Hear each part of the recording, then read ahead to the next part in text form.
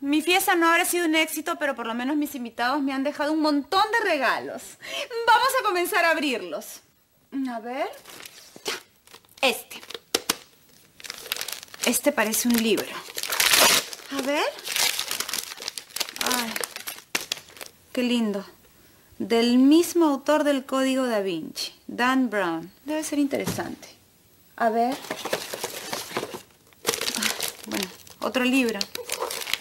Creerán que no leo mucho. ¡Qué falta de originalidad! Dan Brown, del mismo escritor del Código da Vinci. Ya, vamos a abrir otro regalo más. Este no parece un libro. ¡Oh, my! ¡El mismo libro! ¡Dan Brown! ¿Qué voy a hacer? A ver, este. ¿De quién será? A ver. De Pepe para Isabela. De Pepe para Isabela. Después de todo el desastre que hicieron en mi fiesta, debería botarlo en la basura.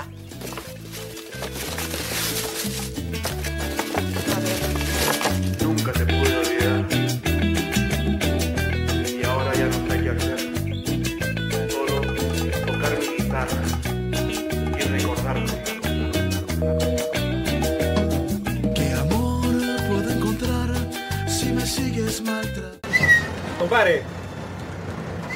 Compadre. Dime, Se le está haciendo a la señora, pe. hoy no molesté por un pasaje, ¿ah? Colabora, pe, que podría ser tu madre, pe. No seas así, la señora está cansada. Ya tenemos otro, otro carro, ¿ah? ¿Dónde está tu educación, pe? Compadre, tiene que ser caballero, pe, es amigo. ¿Qué pasa? Ay. Oye, Pepe. Habla. ¿Qué le regalaste a Isabela? No te voy a decir que le regalé. ¿Y por qué tanto misterio? Es algo que solo podemos saberlo Isabela y yo. La tele lo escogió como un detalle, pero cuando lo vi me pareció perfecto. Oye, ¿qué? A ver, este compañero, un permisito, ¿ya?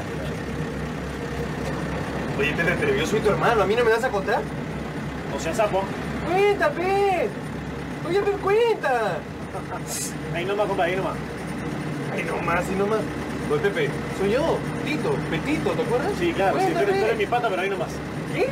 Y ahora debes estar pensando, ¿cómo este adorno tan sencillo puede significar tanto para mí? Yo no pienso nada, señora.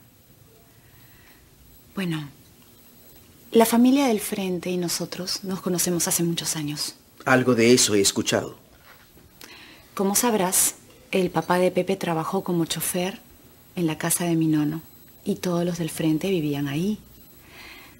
Rafaela, Pepe, su hermano y yo nos íbamos siempre al Parque de las Leyendas para ver a los animalitos.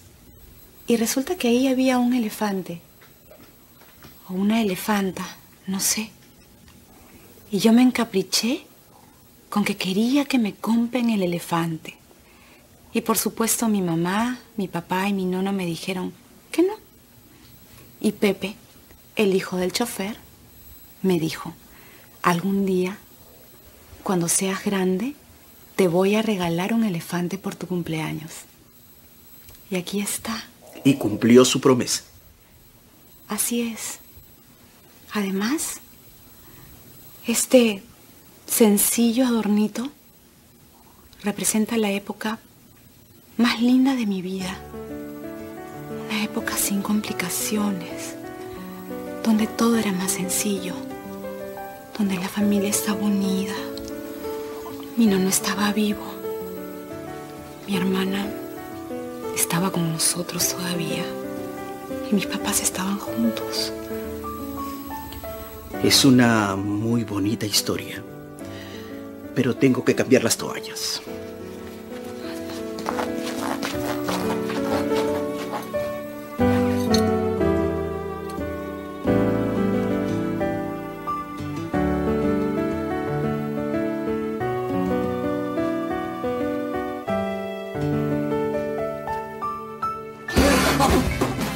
¿Pero qué? ¡Perdón! ¿Pero qué significa esto?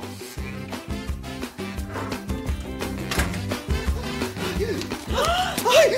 ¡Ay! ¡Ay! Berta, perdón, me olvidé de decirte que el gordito estaba en el baño.